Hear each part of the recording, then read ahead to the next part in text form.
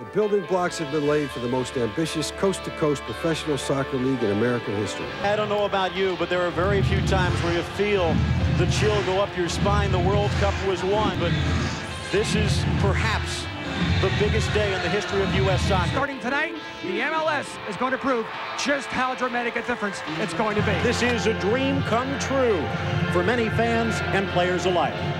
That day that day was probably realizing a dream. It was like, wow, it, this is really going to happen. We had a chartered bus take us, you know, a mile or two away, right? So we're staying downtown, beautiful hotel, get on the bus, and had a police escort going in. To see that many people and that it was organized properly and that it was really major league.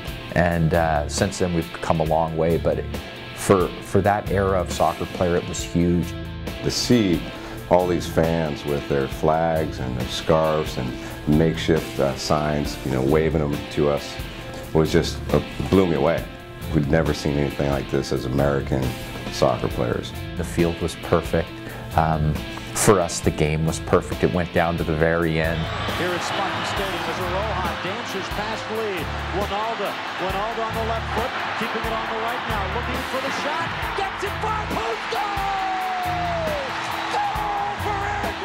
Eric Wynalda slipped the ball through Jeff Agoos's legs and finishes it perfect, and the crowd goes wild. And you know, you're just sitting there. You could, couldn't stop smiling. It's, it's one of my greatest memories in soccer. And to see all these people, you know, cheering for soccer in this country was just another, you know, goal for us as soccer players.